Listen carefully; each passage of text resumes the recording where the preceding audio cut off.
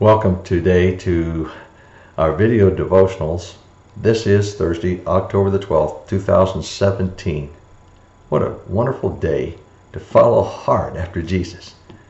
We are looking at Psalms 119, 139, where David says, My zeal has consumed me because my enemies have forgotten your words. So we hear this. We need to define zeal, I think, today. Zeal is the heat or tension of affections. It is fervor and enthusiasm in intensity. In the Treasury of David, Richard Greenham makes some interesting observations. I quote, My zeal hath consumed me. There are divers kinds of, of zeal there is the zeal of the world. There's the zeal of the flesh. There's the zeal of religion. There's the zeal of heresy. And there's the zeal of true God. First, we see the zeal of the world maketh men to labor day and night to get a transitory thing. There's the zeal of flesh. It torments my mind early and late for momentary pleasure. The zeal of heresy makes travel compass sea and land for the maintaining and increasing of opinion.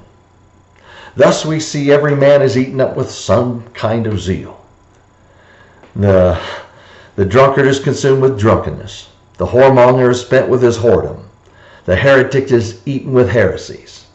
Oh, how ought this to ashamed who are so little eaten, spent, and consumed with the zeal of the world. And so much the rather because godly zeal leaveth us in us advantage and a recompense, which the worldly and carnally zealous have not.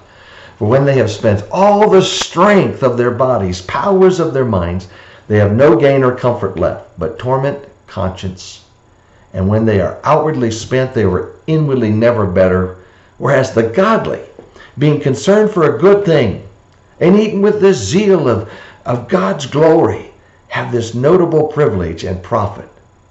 However, howsoever their outward man perisheth and decayeth, yet their inward is still refreshed and nourished to everlasting life. Oh, what a benefit to be eaten up with the love and zeal of a good thing. End of quote. I believe that David is burning with even more spiritual zeal because his enemies have forgotten your words. I see David running at Goliath after Goliath has said, Am I a dog?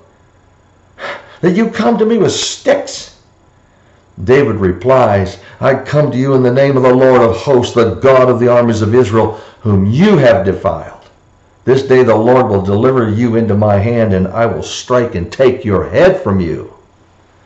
When our zeal is stirred and we are consumed with all our affections for God, something in us will not permit others to continue to disparage our God.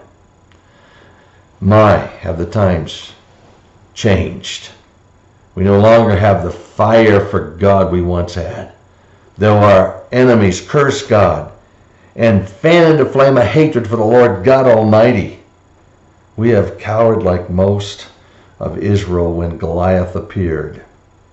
May God raise up another young man in the nation of America to stand up against the Goliaths of our land. Or may he raise up an 85 year old man like Caleb to turn the tide.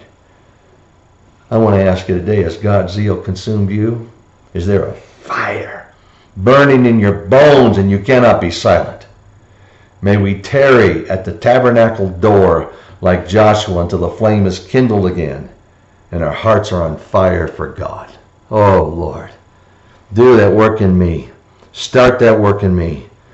I pray, oh God, the fire of your word, the fire of your life, the flames of Almighty God burn in me, the zeal for the Lord be all over me. And I pray it over all who watch this devotional today for the name of Christ's sake.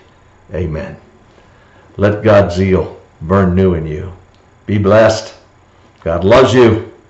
He's on your side as you battle for him in this evil world.